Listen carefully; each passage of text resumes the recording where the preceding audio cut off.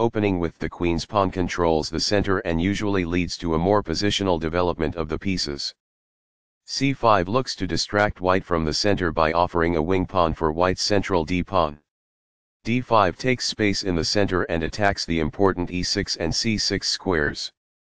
d6 supports the c5 pawn, controls the e5 square and allows the light squared bishop to develop.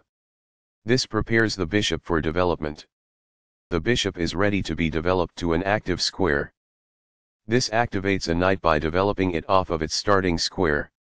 This develops the bishop and gives it scope on the long diagonal. This develops a knight off its starting square, getting it into the action. This permits the opponent to kick a bishop. It is an inaccuracy.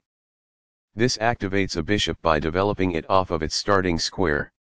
It is excellent. This develops a knight off its starting square, getting it into the action. It is best. Castling gets the king to a safer square, out of the center of the board, while also developing a rook. Castling kingside tends to be safer because the king is further from the center. It is excellent. Castling develops a rook, while also moving the king to safety. Castling to the same side of the board as the opponent tends to lead to less sharp positions as compared with opposite side castling. This exposes an attack, threatening a bishop. After all captures, this is an equal trade. Takes back. It is the last book move. The game was close to equal, but now white has the advantage. It is an inaccuracy. Right on target. It is best. This activates a knight by developing it off of its starting square. It is excellent. This mobilizes the knight, allowing it to control more of the board. It is best. This offers an equal trade of pieces. It is best. The game is still close to equal, but white lost their advantage. It is an inaccuracy. This overlooks a better way to centralize a knight so it controls more squares. It is an inaccuracy. This connects the rooks, which helps them coordinate together in the future. It is best. This kicks an opposing bishop. It is good. This move puts the bishop on a safer square. It is best. This is a fair move. It is good. This misses an opportunity to develop a rook off its starting square. It is a mistake. The rooks can see each other now, allowing them to provide mutual defense.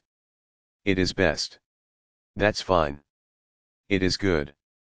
This threatens to win a bishop. It is best.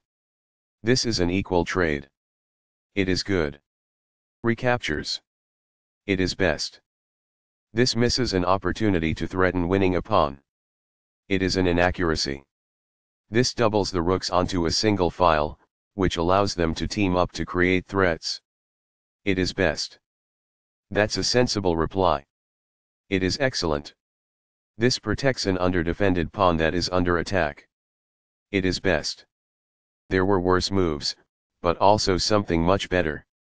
It is an inaccuracy. Capturing that pawn wins material. It is best.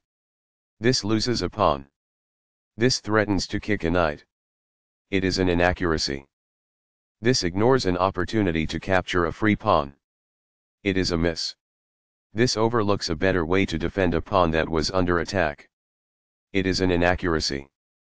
This moves the knight to safety. It is best. This maintains the balance in material with a good trade. It is good. Recaptures. It is best. This defends a pawn that was under attack and had no defenders. It is excellent. That's what I would have recommended. It is best. One of the best moves. It is excellent. This is not the right idea. It is an inaccuracy. This is not the best. It is an inaccuracy. There were worse moves, but also something much better. It is an inaccuracy. Very precise. It is best. This defends the attacked pawn. It is best. This blocks the attack on a pawn that could have been captured. It is best. This moves the rook to safety. It is best.